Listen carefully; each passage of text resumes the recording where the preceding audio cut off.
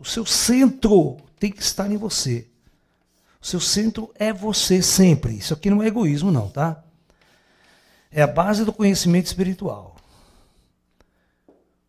Quando você acredita que o outro vai te fazer feliz, você tira, saiu do seu centro, você depositou no outro a sua felicidade.